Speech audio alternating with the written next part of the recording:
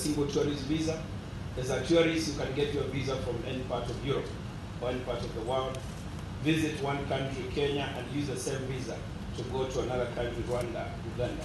And this is something we are trying, of course, to ensure it happens to other partner states. Fast tracking on urbanization work permits regime, this is something we've been working around. That in some partner states within the ESA, you can come in and work irrespective of your partner states. And this is something we are trying to also ensure is replicated in other partner states. The mutual recognition agreements for professionals, something that is already working for some professionals, and trying, to ensure that it works for all professionals. For the third pillar, which is a monetary union, we are working towards a common currency.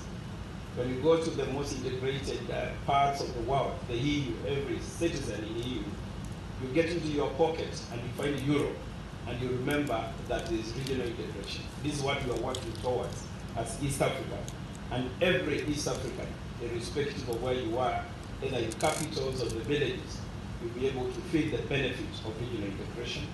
And therefore, in this regard, moving towards establishing the East African Monetary Institute, or trying to set up a central bank that is one for East Africa, and of course, harmonization of both fiscal and monetary policies. Or when we come to the fourth pillar, which is the political federation, confederation, the summit identified a champion of political confederation, His President Museveni, and a good progress is being made.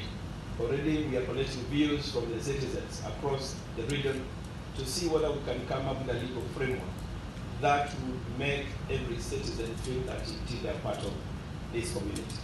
So this being that tells you that the community is growing, soon we are going to admit DRC into the community.